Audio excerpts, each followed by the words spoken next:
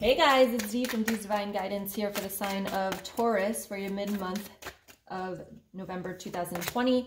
I am calling these my mid-month minis. So um, you're going to get a quick heads up as to what Spirit wants you to know for the rest of the month here. All right, if you haven't already, hit the subscribe button. Make sure you hit the little bell notification to get notified when I have new videos coming out, monthlies, mid-month, new moon, full moon. Um, and I also go live every Tuesday night at 8 p.m. Eastern Standard Time. Wow, okay. Um, I also have five spots left for my From Pain to Power mentorship. They will go fast. So if you're interested in learning, ooh, we got a card turned the other way. All right, whatever. Um, if you're interested in learning more about that, you can stay to the end of the video and I will tell you how you can get your hands on more information. All right, we've got the Nine of Pentacles as your overall energy. So this is about being more independent. This is about being single.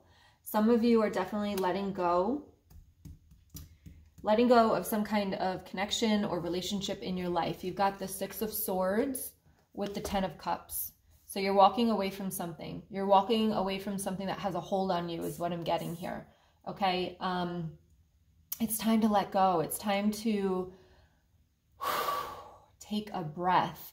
Um, I'm feeling it really strongly around the heart chakra with you as well. Um, but definitely this this also could be like an addiction to you okay? So this could be like an addiction to a person addiction to a substance addiction to the media. It could be uh, addiction to food. It could be like an addiction is what i'm getting for some of you. So it's a general reading so take what resonates leave what doesn't. But i'm feeling as though it's time to step outside of that addiction excuse me. Okay because with the nine of pentacles it's my single card but it's also my independent card and what they're showing me is you literally stepping outside of the energy. Um, I'm feeling like a tornado of energy here. And I feel like you've been in this tornado for a really long time. Excuse me. Alexa, turn alarm off. Don't know what that was for. Um, excuse me for that. Uh, but anyway, the tornado of energy, and I'm feeling like you're stepping outside of it, but they're also making me feel like you're stepping outside of your own body, like you're stepping outside of your own skin. Um, so you've been in this whirlwind for a little bit of time here and it's time to step outside is what I'm getting, okay? You've got the Nine of Wands here with the King of Swords and the Seven of Pentacles. Now, this is about you standing in your power. This is about you knowing that you have the choice. You have the choice. You, you get to decide what you um, see, who you talk to, what you put in your body, like you do have that choice, but your ego is attacking, saying that you need this, you need this, you need this. And it's a comfortable feeling because you've been doing it for a little bit of time now, maybe even a long time now. Um, but it's time to step outside of that and it's time to get uncomfortable. You've got the King of Swords. It's time to set boundaries with yourself. We're heading into 2021 and they're telling me like you don't want 2021 to be like 2020. I mean, who the heck does? But this is in a different way. This isn't about COVID at all, but it's about the bad habits that you have picked up, um, maybe even prior to 2020. So it's really about making the decision to change and making the decision to put the boundaries in place here. And with the Seven of Pentacles, yeah, it's not going to happen overnight, but you've got to take the first step. So are you ready? Is what they're asking. Or do you want 2021 to be the same as 2020? And really think about that and look at your life through 2020, even 2019 and 2018. I feel as though there's been something around you that has slowly creeped in and created this habit or this addiction. Um, and it's not easy for you to like step outside of it. But do you, are you ready to make that decision to step outside? Okay. And then we've got here, let's see what chakra we need to work on with this. It's all about change and it's about making the decision to change. Uh, especially in 2020, we feel as though, you know, so much pressure, so much stress. It's like it's hard to make that first step. And for the end of November, it's time. It's time for you to make that first step. Don't wait until January 1st. It's time for you to, you know, step into your power and we've got the gratitude card here. So again, it's about looking in what's in your life that's worth changing for. And I talk about this in my manifest course where It's like the why behind your change is so important.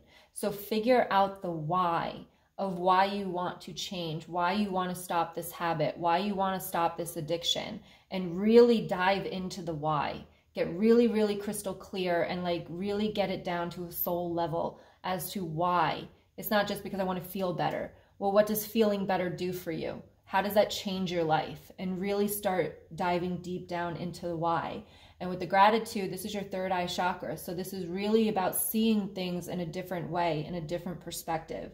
So, um, and you know, obviously with gratitude, start, start, uh, start, can't speak, start to identify what you're grateful for in your life and what you have that you want to cherish and that again is worth changing for. So there's habits here that need to be changed and boundaries that need to be set so that you can bring 2021 in in a different vibration. And they're showing me that if you decide to make this change, if you say, okay, I'm done, I am ready, and if you are ready, December is going to the, be the month for you of complete healing and complete shifting.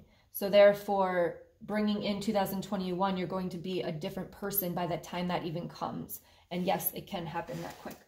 All right, so I hope that resonates with you, but really, you know, it's about making that decision and saying, okay, I'm done with, you know, living like this. I'm ready. And, you know, tomorrow is day one.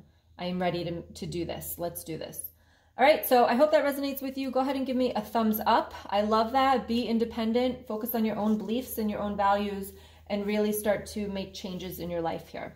All right, if you guys wanted to learn more about my From Pain to Power mentorship, it is an eight week healing program that I take women through after toxic relationships. Um, so if you've attracted toxic relationships into your life before, um, this is really tailored to you. We dive really deep down into the childhood to identify what happened in your childhood and release the energy behind it, shift the subconscious beliefs that are still affecting you to this day, affecting your emotions, affecting your attitude, the negativity, the anger, all of these different things that are still affecting you to this day usually come from childhood. So if you've had a traumatic childhood, which could just mean that parents got divorced, somebody left, somebody wasn't around, you were neglected, um, obviously physical, sexual, mental abuse, um, you know, anything like that definitely will affect how you're feeling today. So that's what we do through this program. Um, it's really about transforming your limiting beliefs. It's about uh, releasing your energy. It's about building your confidence, learning how to enforce your boundaries, and really taking your power back in your life and controlling your emotions. All right, if you're interested to see if you're a good fit, you can look in the description box below as well as the comments below to see a little questionnaire link there that you can answer some questions to see if you're a good fit for the program. All right, much love to all of you. Make the decision. It's time. And I'll talk to you guys soon. Much love. Bye.